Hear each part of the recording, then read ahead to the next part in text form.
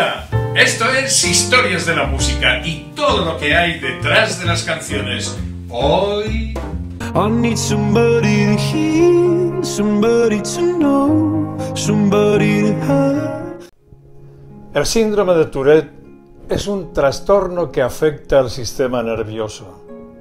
No tiene cura y quienes lo padecen pueden llegar a desesperarse. En el caso de un cantante famoso puede llegar a tener la intención de retirarse por esa causa. Vamos a conocer un ejemplo.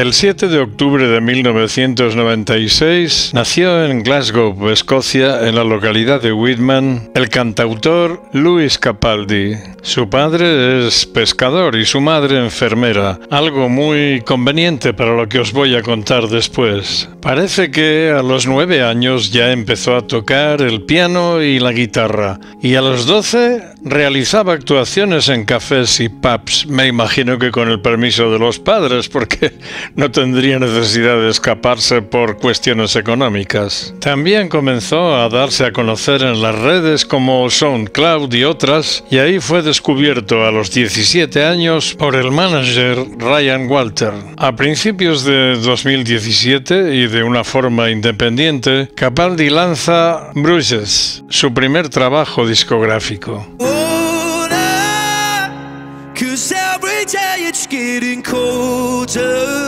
Como era de esperar, esa producción, sin el apoyo de una compañía potente que lo promocionase, no tuvo un éxito especial, pero sí figuró en varias playlists y compilaciones de YouTube. Al año siguiente, en 2018, editó un extender play de cuatro canciones, tres de ellas inéditas, y en él incluyó su ya conocida Breezes se convertiría en todo un éxito alcanzando el puesto número 17 en Reino Unido.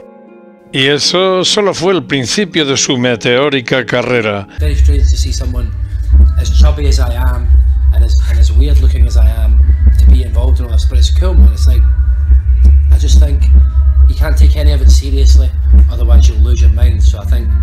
I just I try and recognise how stupid it all is, and, and, and yeah, just try and enjoy it. Otherwise, I think I'd be a bit, I'd lose my head a bit.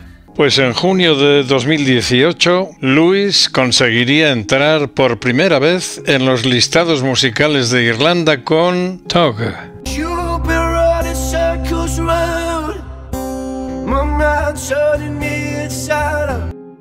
Meses después del lanzamiento de Tug, le llegó el momento fama con mayúsculas, con la canción Someone You Love.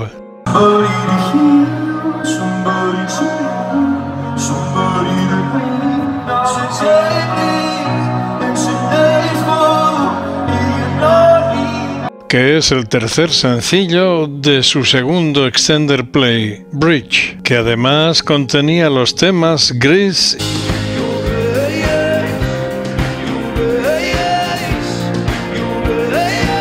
y Something Barred.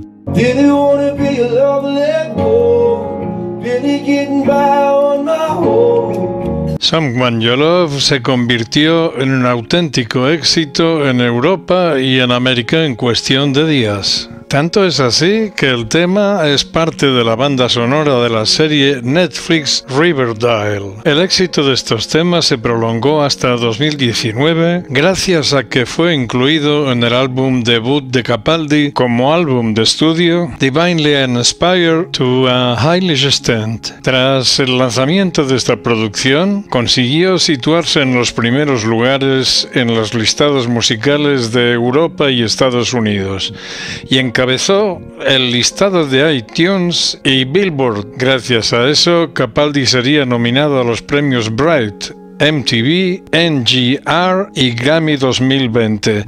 No ganó ninguno de esos galardones, pero actualmente está considerado uno de los mejores artistas de la escena indie, lo cual le augura grandes éxitos. Aunque no acostumbro a emitir opiniones personales en ninguno de los vídeos que publico, me atrevería a decir que Luis Capaldi es uno de los mejores cantantes que he escuchado en los últimos años. Creo que tiene un gran futuro por delante si llega a superar un problema físico, mejor dicho, neurológico, que está coartando su carrera. Me voy a explicar. Luis padece un trastorno llamado síndrome de Tourette y así lo confesó hace un año cuando se lo diagnosticaron. No está considerado como una enfermedad, por eso le llaman síndrome, pero lo cierto es que de momento no tiene cura. Se desconoce la causa que lo provoca, pero sí se conocen los síntomas. Los tics típicos del síndrome de Tourette son básicamente motores y vocales. Los motores pueden ser parpadeos, mover los ojos repetidamente, agitar la cabeza, encoger los hombros, fruncir la nariz, hacer muecas con la boca, tocar u oler objetos, hacer gestos obscenos, los vocales pueden ser cambios bruscos repentinos en el transcurso de una conversación en el volumen de la voz, resoplar, toser, aclarar la garganta, repetir palabras, insultar y todos esos tics se producen sin control contra la voluntad de quien los realiza y suelen empeorar cuando la persona está nerviosa o en momentos de gran tensión y mejorar cuando la persona se relaja. Esos tics afectan a la vida personal o laboral, provocan lesiones o causan mucho estrés. Solo existen cuidados paliativos, por decirlo de alguna manera. Pueden administrarse medicamentos o seguir terapias conductuales para controlarlos y reducir su intensidad. Os pido disculpas si me he extendido en la explicación, pero es que, sobre todo para los que no conocen cómo es ese tipo de síndrome, es importante visualizar qué es lo que le sucede a una persona como Luis Capalvo cuando se encuentra delante de miles de fans interpretando sus canciones y de repente se desatan todos esos demonios en sus gestos, en su garganta, en su mente. Debe ser espantoso encontrarse en esa situación. Sus ya habían aparecido en público en otras ocasiones, pero con mucha menor intensidad. Esta última vez en el Festival de Glastonbury, mientras interpretaba una de sus canciones más populares, Someone You Loved, comenzó a sufrir una fuerte crisis de tics. El público enseguida se dio cuenta, pero al instante, por ayudarle, se puso a corear a todo volumen el tema para que él se sintiera arropado. Y es evidente por la expresión de su cara que sí, que así se sintió y siguió en el escenario tratando de seguir cantando junto con sus fans. Después confesó que lo había hecho para que no creyesen que estaba drogado y prefirió que se enterasen de su mal, de su síndrome, a abandonar el escenario. Me entristece y me emociona pensar en lo que él sintió en esos momentos. Tras ese suceso hizo unas declaraciones diciendo, puede que esto no sea una sorpresa para nadie y no lo hace menos difícil confesarlo, pero lamento comunicaros que voy a tomar un descanso de la gira. Comienza explicando el cantante tras agradecer a sus fans el apoyo recibido. Y siguió diciendo, solía ser capaz de disfrutar de cada segundo de shows como este y esperaba que tres semanas pudieran ayudarme a solucionarlo. Pero la verdad es que todavía estoy aprendiendo a adaptar el impacto de mi Tourette y el sábado se hizo bastante evidente que necesito mucho más tiempo para poner en orden mi salud tanto física como mental, para que pueda hacer todo lo que amo durante muchísimo más tiempo. Ese día comunicó que cancelaba la gira que tenía en marcha y que desafortunadamente porque he perdido la ocasión de verlo en directo, también incluía España. El 8 de septiembre tenía una presentación en Barcelona y al día siguiente en Madrid. Yo espero de todo corazón que esa retirada sea solamente circunstancial y que se recupere en poco tiempo. Ojalá que sea así. Y por eso, como decía al principio, es muy importante que su madre sea enfermera porque ella sabrá cómo prestarle ayuda. En la letra de Someone You Love, Dice, me estoy hundiendo y esta vez me temo que nadie me salve.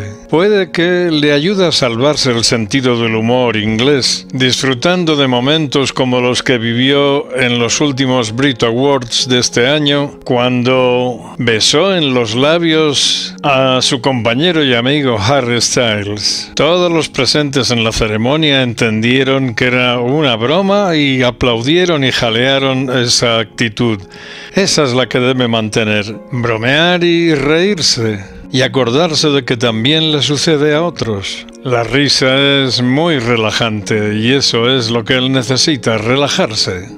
También sería bueno que recordara que son muchos los artistas que sufren ese síndrome. Está Billie Eilish, la famosa cantante que fue diagnosticada de Tourette a los 11 años y ha seguido actuando. También está Rafa Nadal, el gran tenista, cuyos tics están a la vista de todos. Y eso no le ha impedido ser un grande entre los grandes. También está el gran actor Zac Efron, protagonista de High School Musical y Kristen Stewart, premio de la cadena británica de cine. Y aunque sea del pasado, el genio de los genios, Wolfgang Amadeus Mozart, que también lo padeció y muy gravemente, por cierto, pero superó todas las dificultades y escribió 47 sinfonías, 21 óperas, 19 misas, 41 sonatas y 30 conciertos para piano y orquesta. No es tan condicionante el Tourette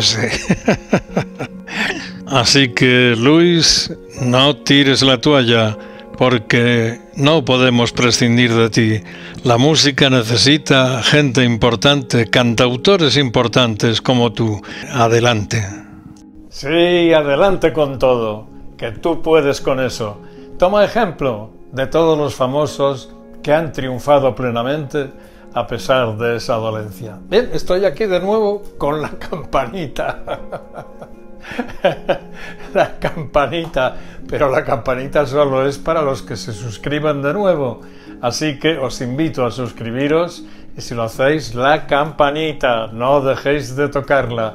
Y por favor, todo mi agradecimiento, toda mi devoción para todos vosotros que habéis aumentado el número de amigas y amigos en el canal hasta extremos impensables hace unos meses. Me siento muy feliz. Dentro de poco lo celebraremos. La campanita, la campanita. Suscribiros. Hasta la próxima.